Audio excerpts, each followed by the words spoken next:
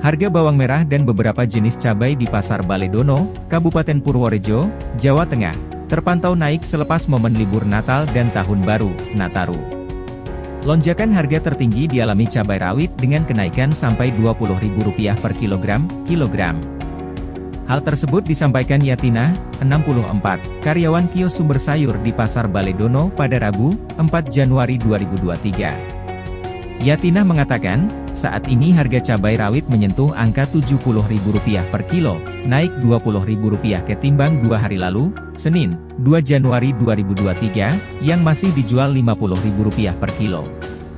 Tahun baru ini, 2023, harga cabai naik semua.